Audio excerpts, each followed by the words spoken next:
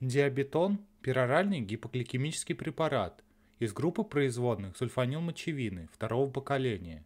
Диабетон снижает уровень глюкозы в крови. Показания. Сахарный диабет второго типа при недостаточной эффективности диетотерапии, физических нагрузок и снижения массы тела.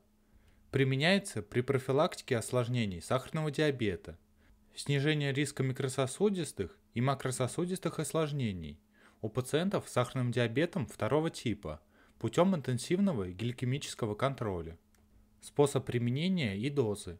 Препарат предназначен только для взрослых. Рекомендуемая начальная доза составляет 30 мг, в том числе для пациентов 65 лет и старше. Подбор дозы следует проводить в соответствии с уровнем глюкозы в крови после начала лечения – Каждое следующее изменение дозы может быть предпринято после как минимум двухнедельного периода. При поддерживающей терапии ежедневный прием одной дозы обеспечивает эффективный контроль уровня глюкозы в крови. Ежедневная доза препарата может варьироваться от 30 мг до 120 мг, 1-4 таблетки, один раз в сутки. Максимальная суточная доза 120 мг. Препарат принимают внутрь один раз в сутки во время завтрака при пропуске одного или более приемов препарата нельзя принимать более высокую дозу в следующий прием. Для пациентов, ранее не получавших лечения, начальная доза составляет 30 мг. Затем дозу подбирают индивидуально до достижения необходимого терапевтического эффекта. Переход с другого гипогликемического препарата на диабетон не требует какого-либо переходного периода времени. Если больной до этого получал терапию производными сульфанилмочевины, то вследствие одной-двух недель необходимо проведение тщательного наблюдения, контроль уровня гликемии в избежание развития гипогликемии, как следствие остаточных эффектов предыдущей терапии. Пациентам с нарушениями функции почек от слабой до умеренной степени тяжести препарат назначает в соответствии с приведенным выше режимом дозирования. Противопоказания. Повышенная чувствительность к гликозиду, другим производным сульфанилмочевины – сульфаниламидом или к вспомогательным веществам, входящим в состав препарата диабетон, сахарный диабет первого типа, диабетический кетоацидоз, диабетическая прикома, диабетическая кома, тяжелая почечная или печеночная недостаточность. В этих случаях рекомендуется принимать инсулин. Прием миконазола, беременность и период кормления грудью. Возраст до 18 лет – в связи с тем, что в состав препарата входит лактоза, диапетон не рекомендуется принимать больным с рожденной непереносимостью лактозы, глактоземией, глюкозогалактозной малябсорцией. Применение при беременности и кормлении грудью. Опыт применения гликозида во время беременности отсутствует. Данные о применении других производных сульфанилмочевины во время беременности ограничены – в исследованиях на лабораторных животных тератогенные эффекты гликозида выявлены не были. Для снижения риска развития врожденных пороков необходим оптимальный контроль, проведение соответствующей терапии сахарного диабета. Пероральные гипогликемические препараты в период беременности не применяются. Инсулин является препаратом выбора для терапии сахарного диабета у беременных. Рекомендуется заменить прием пероральных гипогликемических препаратов на инсулинотерапию, так как в случае планируемой беременности, так и в том случае, если беременность наступила на фоне приема препарата.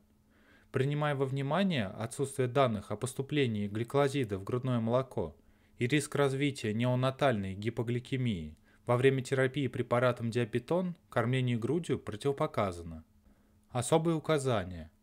На фоне производных сульфанилмочевины, в том числе и гликозида, может развиваться гипогликемия – в некоторых случаях в тяжелой и продолжительной форме, требующей госпитализации и внутривенного введения раствора декстрозы в течение нескольких дней. Препарат может быть назначен только тем пациентам, питание которых регулярно и включает завтрак. Очень важно поддерживать достаточное поступление углеводов с пищей, так как риск развития гипогликемии возрастает при нерегулярном или недостаточном питании, а также при употреблении пищи, бедной углеводами – Гипогликемия чаще развивается при низкокалорийной диете, после продолжительных или энергичных физических упражнений, после употребления алкоголя или при приеме нескольких гипогликемических лекарственных средств одновременно. Как правило, симптомы гипогликемии проходят после приема пищи, богатой углеводами, например, сахара. Следует иметь в виду, что прием сахарозаменителей не способствует устранению гипогликемических симптомов. Повышенный риск развития гипогликемии может отмечаться в следующих случаях. Отказ или неспособность пациента, особенно пожилого возраста, следовать назначениям врача и контролировать свое состояние. Недостаточное и нерегулярное питание, пропуск приемов пищи, голодание и изменение рациона.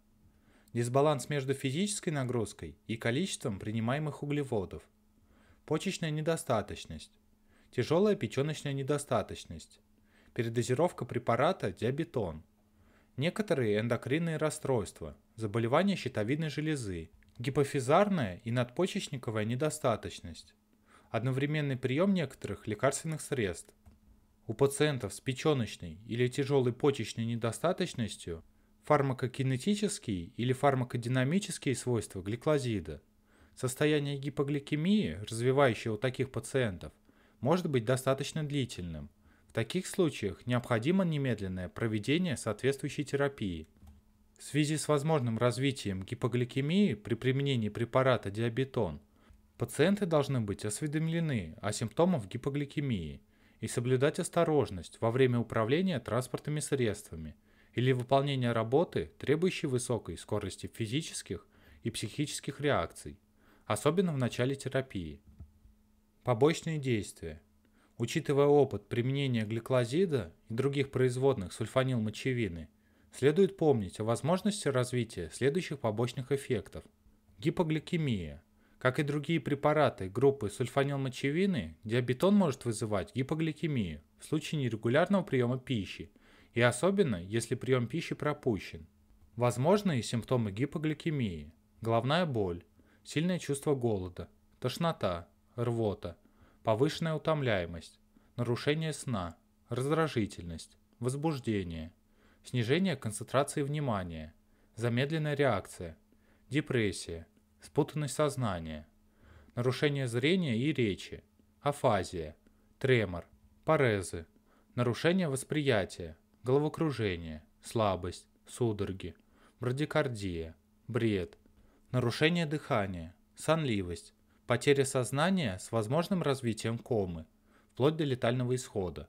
Также могут отмечаться адренергические реакции, повышенное потоотделение, липкая кожа, беспокойство, тахикардия, повышение артериального давления, ощущение сердцебиения, аритмия и стенокардия – как правило, симптомы гипогликемии купируются приемом углеводов, сахара.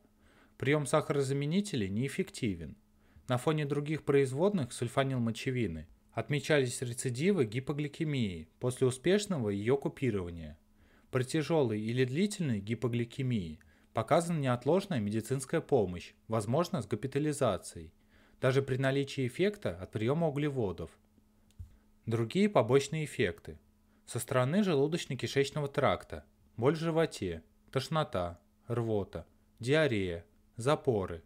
Прием препарата во время завтрака позволяет избежать этих симптомов или минимизировать их. Реже отмечаются следующие побочные эффекты. Со стороны кожи и подкожной клетчатки – сыпь, зуд, крапивница, эритема, макулопопулезная сыпь, булезная сыпь, со стороны кровеносной и лимфатической системы, гематологические нарушения, анемия, лейкопения, тромбоцитопения, гранулоцитопения, развивающие редко. Как правило, эти явления обратимы в случае прекращения терапии. Со стороны печени и желчевыводящих путей, повышение активности печеночных ферментов, гепатит. При появлении холестатической желтухи необходимо прекратить терапию – Следующие побочные эффекты обычно обратимы в случае прекращения терапии. Со стороны органов зрения могут возникать переходящие зрительные расстройства, вызванные изменением концентрации глюкозы крови, особенно в начале терапии. Побочные эффекты, присущие производным сульфанилмочевины, как и на фоне приема других производных сульфанилмочевины, отмечались следующие побочные эффекты. Эритроцитопения, агранулоцитоз – гемолитическая анемия, панцитопения, аллергический васкулит, гипонатриемия. Условия хранения и срок годности. Препарат следует хранить при комнатной температуре. Срок годности 3 года.